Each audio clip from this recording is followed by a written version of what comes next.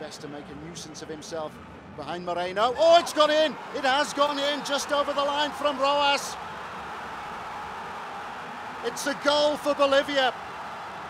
They've made the breakthrough. They have stunned this stadium in La Plata. We said beforehand where Bolivia are about to make the big, big headlines on the opening day of the Copa America. And Edivaldo Rojas has done just that.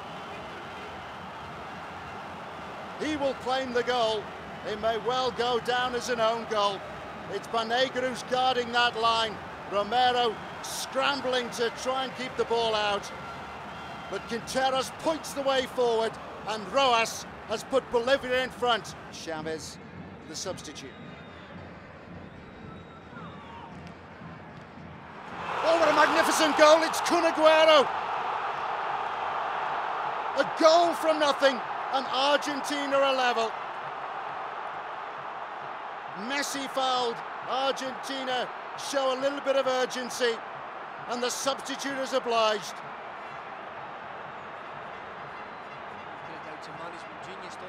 got a substitution, but you know, what a finish. You know, technical ability is absolutely fantastic. You know, pulled off at the back post, nice little chest down, but they still got to finish it. And what a finish, but I'll tell you what, it's a quick free kick that creates the chances and it eases a little bit of pressure, but what a finish from Aguero.